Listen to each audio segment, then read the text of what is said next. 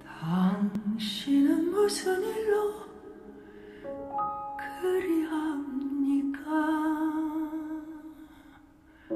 홀로 이 개야울에 주저앉아서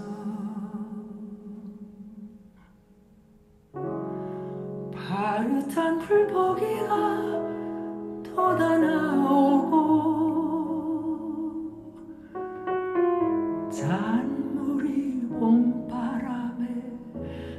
해적일 때에 가도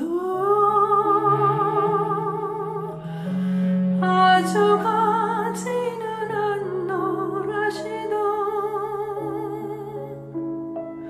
그런 약속이 있었 날마다 개열에 나와 앉아서 하염없이 무엇을 생각합니다. 가도